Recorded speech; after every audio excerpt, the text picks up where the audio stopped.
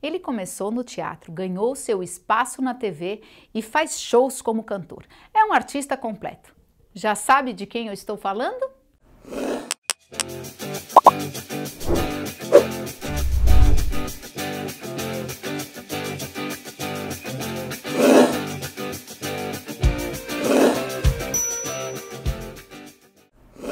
Ele é um profissional completo.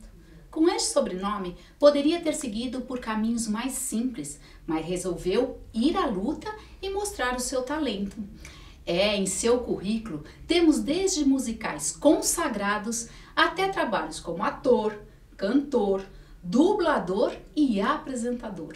Fora o carisma. O carisma é impressionante. Aonde ele passa, contagia. Tiago, muito obrigada. Ai, que lindo, obrigado. Fiquei emocionado. Imagina, ele é emocionada, gente. Imagina como eu tô nesse momento. Mas vamos lá, vamos seguir o roteiro.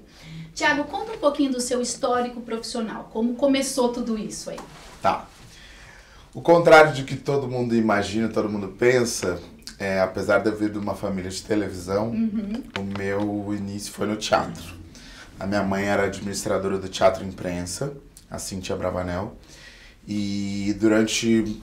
Eu tinha oito anos de idade, mais ou menos, quando ela, quando ela entrou na administração do Teatro Imprensa.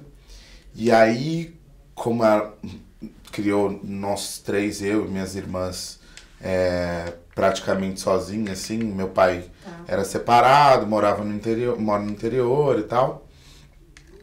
Então a, a, a vida da minha mãe era trabalhar e, e cuidar das, das crianças enquanto conseguia uhum. fora do trabalho.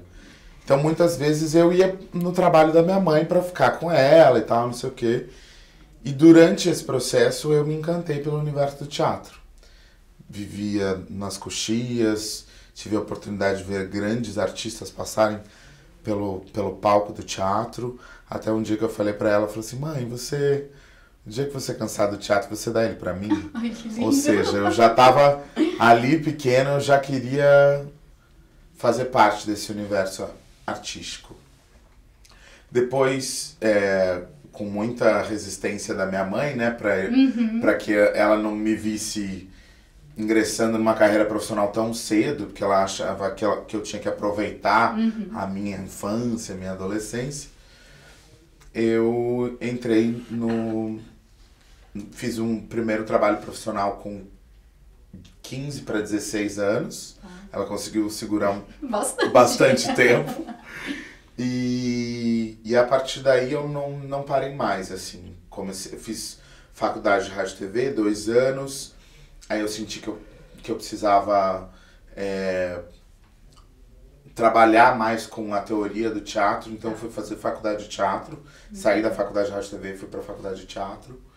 E no meio da faculdade de teatro me convidaram para fazer um espetáculo no Rio de Janeiro. Tive que sair da faculdade. E aí já o, o mundo uhum. do, do, entretenimento me, e da cultura me, me consumiu. E aí eu não consegui mais parar de trabalhar. Apesar de não ter concluído a faculdade, é, eu acho que você deve estar sempre estudando, né? O tempo sempre... todo. Como que é isso? Eu acho que acho que em qualquer profissão, uhum. né? Eu acho a gente nunca tá pronto. Quanto mais a gente pudesse se imbuir de, de informações, de novas tendências, de novos pensamentos, olhar outros pontos de vista, faz, faz com que a gente aprenda cada vez mais, que a gente vire um profissional cada vez mais qualificado para cada área. E eu sou uma pessoa que que me arrisco em diferentes áreas, assim, a gente eu falei resumidamente do teatro aqui, mas o teatro me levou para música, a música me trouxe um, um, um, amplo espaço do mercado corporativo onde eu tinha que me comunicar muito bem com as pessoas. E aí daí surgiu a minha vontade de me tornar apresentador, observando o trabalho da minha família, eu comecei a e, e devido à grande é, quantidade de trabalho que eu tinha com relação aos eventos e shows que eu comecei a fazer, eu senti a necessidade de ter algum negócio que não precisasse da minha presença física para estar nos lugares. Aí eu abri uma empresa de, de pijamas, então assim ficar parado eu não consigo. E isso que fez a gente ficar muito feliz de você no Es Profissa. Porque você é o tipo de pessoa que até poderia ser mais acomodado. Sim. Né? E isso é muito importante para o nosso jovem, né? Isso é o que as pessoas acham que poderia ser, né? Mas eu, eu sou atazanado, eu não consigo ficar quieto. É, minha cabeça sempre está produzindo. É óbvio que isso também tem que ter um limite, né? Tá. Porque a nossa vida não pode ser só trabalho. Uhum. É, mas, mas principalmente colocar a, a, energia no mundo, sabe? É, eu ah, acho... adorei, pá.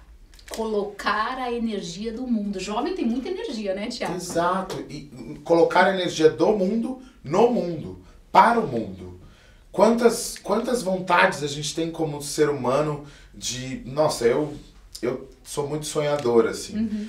Então eu tenho. Inúmeras vezes eu me pego falando assim: nossa, eu preciso fazer alguma coisa para mudar aquilo. E aí, essa energia, esse, essa vontade, esse sonho me dá combustível e aí eu vou buscando os caminhos para conseguir realizar aquela aquela minha vontade ali, que não necessariamente sou eu que vou fazer, mas de repente eu dou um estímulo para alguém que esse alguém vai lá e faz e aí eu me sinto é, acalantado, eu me uhum. sinto é, agradecido por, por ter conseguido ser uma pedrinha caindo no lago e esse lago Tiago, quando eu ouço isso, e acho que para muita gente que está vendo a gente, isso explica você ser tão admirado no meio artístico. Eu ia falar isso na abertura e, e esse talento todo, né? Sua mãe veio do teatro. Você acha que é sangue mesmo, é de família também? Como Sim. que funciona isso? Eu acho que é, é inevitável, assim. Eu acho que se você tem é, no meu caso, tinha a oportunidade de ter uma mãe que trabalhava no teatro, mesmo que na administração do teatro. Minha mãe não é artista do teatro, ela é de teatro. Tá. É, meu avô da comunicação, né, da, da televisão. O é, segundo mais amado do país, que você é o primeiro. Oh, quem me dera! As pessoas falam assim, ah, eu amo seu avô. Eu falo, quando é que você vai me amar? Ai, que bonitinho! Eu amo você, eu tô mais Obrigado, obrigado. Não, eu tô brincando. É, é muita inspiração, assim. É um cara que, que que fala com muitas gerações, que fala com muitos públicos, desde criança até os mais velhos, é, de uma maneira muito muito sensível assim, né? Ele é ele é o cara assim. E aí, obviamente que nascer numa família como uhum. essa me me traz muitas referências positivas. Mas independente de ter nascido nessa família, eu poderia ter escolhido fazer outra coisa. Claro, claro. Né? Assim como as minhas irmãs que não são artistas. Uhum. É, uma fez fotografia, a outra fez é, gastronomia.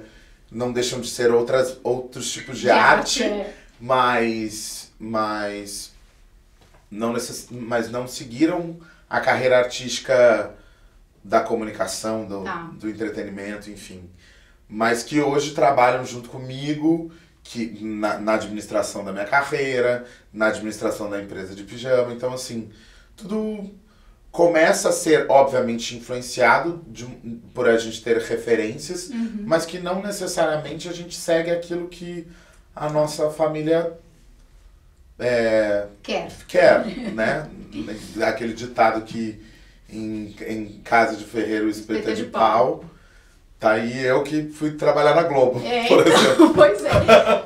Você falou de referências positivas. Por causa do peso desse sobrenome, teve alguma coisa que é, não contribuiu para o sucesso que você é hoje?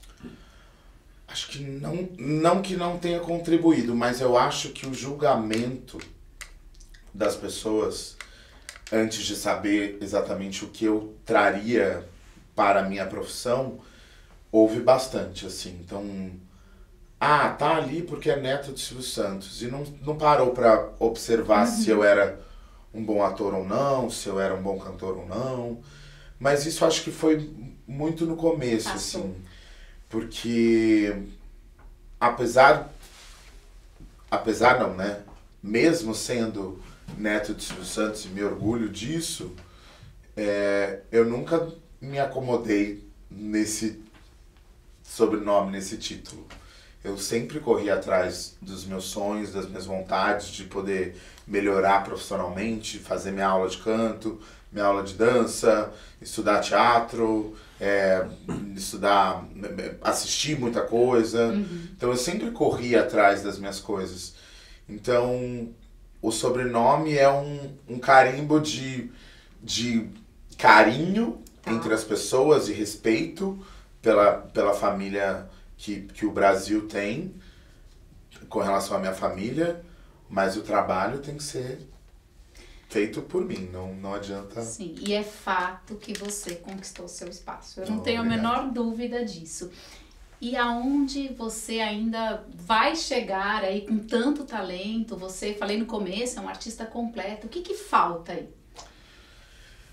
Olha, para um artista como eu que sempre sonha, é, não que eu não esteja satisfeito, mas eu sempre busco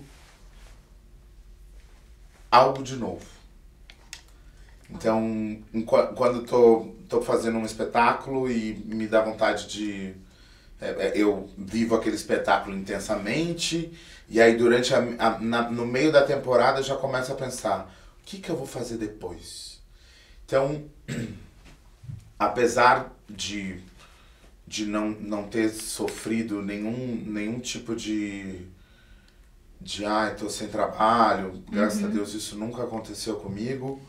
É, depois que eu comecei a trabalhar de uhum. fato, é, eu, eu, eu nunca me senti não querendo produzir ou não não querendo uma coisa nova. Tá. Então assim, se você me perguntar, ah, mas o que, que falta ainda? Eu não sei o que falta, mas mas vem algo novo. Mas, com certeza. Isso sem dúvida. Eu não sei se é uma percepção minha, mas foi passo a passo, né? Você acho que foi construindo para conseguir seu espaço degrau por, por degrau. Opa, óbvio. Inevitavelmente as pessoas vão observar de uma maneira diferente quando chega no currículo e fala assim: a Bravanel, mas uhum. isso aqui tem alguma coisa, né? Conheço então, esse sobrenome. É, então, de alguma forma, o sobrenome fez com que as pessoas observassem de uma, de uma maneira mais, mais criteriosa. Assim, uhum. peraí, vamos ver o que, que esse menino pode fazer mesmo. E isso pode ser positivo quanto negativo, né? Claro. Se eu fizer alguma coisa de errado, as pessoas vão falar com mais veemência por eu ter, por eu ser quem eu sou. Claro. Se eu fizer alguma coisa de positivo, também. Na ver... Infelizmente, na maioria, as pessoas olham mais as coisas negativas do que as positivas, mas a gente não desiste, não. Aqui no Esprofis, a gente é, fala com muita gente de sucesso. E o que é sucesso pra gente do Esprofissa? Hum. É poder fazer aquilo que gosta, poder trabalhar no que gosta, mudar. Para você, o que é o sucesso? Olha, o sucesso eu acho que é se realizar dentro da sua mais plena vontade e dedicação. É, eu não eu acho que as pessoas confundem muito sucesso com fama, uhum. sucesso com o reconhecimento externo. Eu acho que o sucesso está sim ligado a reconhecimento, porque é necessário que a gente tenha é, que a gente seja visto dentro do nosso trabalho, seja elogiado pelo nosso chefe, né? Uhum, todo mundo gosta, Todo né? mundo gosta. Mas eu acho que o sucesso ele está ligado diretamente à dedicação, esforço, entrega e paixão, assim.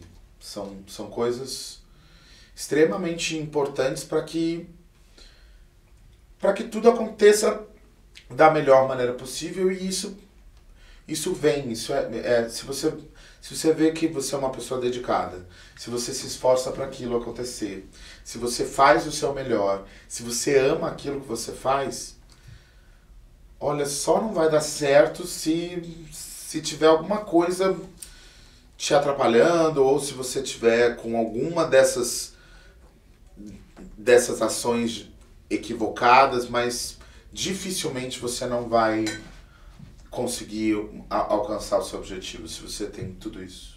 Dica preciosa, hein, jovem? Fica ligado. É, falando em dica preciosa para o jovem, tem um monte de gente aí que está assistindo a gente querendo saber quais as características, qual o perfil que a pessoa precisa ter, e não é querer fama, com certeza, né? Para ingressar nessa carreira. Olha, eu acredito que a arte ela tem ela tem um, um lugar que ela é mais sensitiva, ela é de dentro para fora. Muitas vezes a gente to, todo mundo tem algum dom para arte, todo mundo. Uhum. Tem pessoas que desenvolvem, tem pessoas que não desenvolvem. As que trabalham com isso, elas provavelmente na infância ou na adolescência, elas começam a a expor essa, essa esse comichão, esse bicho que existe dentro da gente, de alguma forma, seja desenhando, seja cantando no chuveiro com mais intensidade, seja é, fazendo teatrinho no final, no, no, no Natal, ou, ou brincando. Enfim, inúmeras possibilidades artísticas que são vistas, e aí vai muito dos familiares das pessoas que estão à volta identificarem isso nesses jovens, nessas crianças e estimular.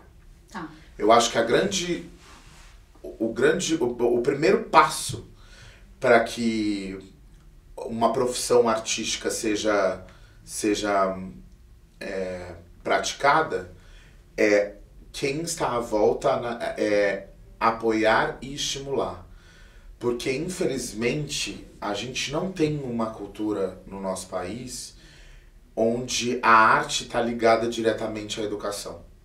E ela deveria ser. Uhum. É, quando, eu, quando eu vejo um trabalho, por exemplo, que a minha mãe fez dentro do teatro, onde ela, no teatro, capacitavam professores para que os professores pudessem utilizar a ferramenta de teatro e artes no ensino, o conhecimento foi ampliado, seja ele em matemática, história, uhum, geografia, uhum. Mat é, matérias que não tivessem ligadas diretamente à arte, mas que utilizou da arte como, como ferramenta para o ensino. E aí muitas crianças que tiveram, é, crianças e adolescentes que tiveram essa esse entendimento da, de, desse instrumento com, com veemência, seguiram a carreira artística. Então acho que esse estímulo foi necessário. É, então, le, então lembrando, primeiro passo, estímulo de quem está de fora e buscar dentro da educação, e aí não depende só da gente, mas de todos os nossos.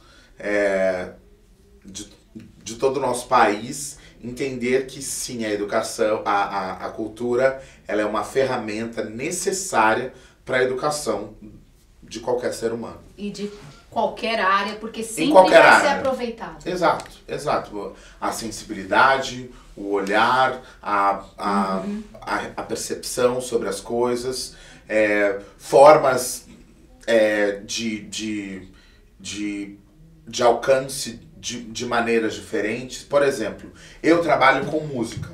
Eu faço muitos shows corporativos, por exemplo. E muitas vezes a pessoa fala assim: ah, o evento do, do fulano, o evento da empresa tal, é para fazer networking, é para fulano fazer uma média com, com, com o chefe, né? Menos assistir o show. O show é, é, é o, o cara que tá cantando ali no cantinho. Eu poderia ser o cara que cantava ali no cantinho e ficasse quietinho na minha e quem gostasse do show gostava, quem... mas eu não consigo. Eu sou o cara que quero transformar a vida das pessoas. Eu quero poder fazer com que a pessoa que está com o copo na mão virado de costas para o palco vire para mim e observe o que eu estou fazendo e de que forma ele pode se transformar com aquela noite que a princípio era uma noite social, uma noite engravatada, fechada. E... Eu quero dar meu depoimento. Eu participei de um show corporativo desse, do Tiago, da Eion, foi sensacional. Né? Aí é uma parceiraça nossa, fica aí o agradecimento. E foi Legal. um momento único, viu? Foi realmente você consegue é, tomar nossa atenção e fazer aquilo fez diferença para mim. Eu não, não, sou nem muito de balada, hein? É aí que tá. Eu acho que não, e não necessariamente a gente sempre vai conseguir isso. Eu já fiz eventos, por exemplo, eu fiz um evento uma vez onde 100% do público eram argentinos. Tá. Eu não falo espanhol, falo male male inglês e eu não, não tinha um instrumento de comunicação que não fosse a minha música. Eu Olha, foi, uma das, foi um dos, dos dias mais difíceis profissionalmente, assim, pra minha, na, na minha carreira, porque eu falei, cara, o que que eu vou fazer? Eu passei meia hora do meu show com o público de braço cruzado, me olhando de um jeito assim, tipo, o que que esse gordo tá fazendo? Porque eu não, não sabia me comunicar. E eu falei, cara, vai ter que ser através da música. Uhum. A música vai ser a minha comunicação a vibração que eu gerar vai ser vai ser a forma de envolvimento e até um momento demorou um pouco foi muito esforço eu quase perdi minha voz nesse dia de tanto que eu me entreguei assim não, não soube controlar a minha emoção até que eu consegui que alguns deles levantassem dançassem comigo é, se divertissem e tal. E aí depois no final do show veio uma pessoa da empresa falando assim eles amaram. Eu falei, caramba, eles amaram. Então acho que é, é, nem sempre o, o trabalho, o esforço que a gente faz, o trabalho que a gente faz, vai ser reconhecido da maneira como a gente gostaria, mas de alguma forma o trabalho foi feito e foi tocado. Então. E você fica tranquilo porque você tá dando o seu melhor, né? Olha, aquele dia eu tive certeza de que eu tentei dar o meu melhor, porque eu, foi, foi surreal, assim, e sempre. Eu falo naquele dia, mas muitas vezes a gente está cansado. É, eu viajo muito, nem sempre estou aqui em São Paulo, que é minha casa.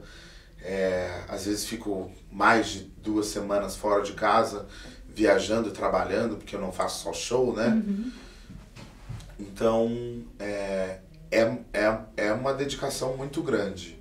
E muitas vezes a gente chega pra começar um show, você fala, nossa, hoje vai ser difícil. Eu tomo água, respiro.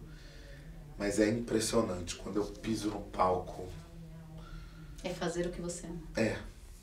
É isso. Independente de você estar tá quebrado ou não. Uhum geralmente esses são os melhores shows. Eu não sou da carreira artística, não sou famosa, mas eu me identifiquei com isso, porque todo mundo tem um dia difícil, tem claro. um dia cansado, e quando você faz, jovem, aquilo que você gosta, a energia vem. Com certeza. Bom, a gente está quase terminando. Eu queria, você já deu um monte de dicas, assim, né? De até lidar com frustrações e fracasso. Mais uma dica final para o nosso jovem que está aí batalhando pelo primeiro emprego. Bom, em primeiro lugar, perceba aquilo que te faz feliz, aquilo que você gostaria de dar para o mundo. Quando você entender isso, meio caminho andado você já tem. A partir desse momento, você tem que analisar e buscar caminhos e ferramentas que sirvam de combustível para que você corra atrás dessa sua vontade, desse seu sonho. Quais, de que forma você pode se capacitar para isso? Quem são as pessoas que te inspiram dentro desse, desse universo? É, aonde você pode é, estudar e, e, e buscar informações para que você seja um profissional dessa área? E depois que, que iniciado esse processo e conquistado talvez esse espaço, nunca deixe de estar apaixonado por aquilo que você faz. Se você perder a paixão por aquilo que você está fazendo, ou você precisa mudar de profissão, ou alguma coisa você não está fazendo de errado, de, de certo. Porque a paixão e a vontade e o carinho que você tem por aquilo que você ama fazer vai te deixar em estado, obviamente nem sempre 100%, mas como profissional eu não tenho dúvida que você será um ser humano melhor. Que lindo. Bom, antes de terminar, eu quero agradecer a Lígia, sua irmã, que viabilizou essa entrevista por intermédio da Miriam, do Espaço Fiorello, nossa parceiraça. Obrigada, meninas. Obrigado. E assim, gente, ele é isso mesmo que a gente vê na TV. Isso que eu amo quando acontecem essas entrevistas, bate no microfone, mas tudo bem. Tiago, obrigada de coração. Obrigado a vocês, fico muito feliz de participar de um projeto como esse. Eu tenho certeza que você, jovem, é, pode contar com toda essa estrutura e esse carinho que vocês têm através desse projeto e que eu tenho, não tenho dúvida que a parte de vocês vocês estão fazendo e que esses jovens farão parte desse mundo transformando a vida deles e de muitas pessoas. Que lindo. Gente, diz que jornalista não pode emocionar, mas não tem como. Obrigada de novo. Obrigado. Pessoal, tem muito mais dessa profissa por aí. Fique ligado nas nossas redes sociais, se inscreva no nosso canal do YouTube e até a próxima.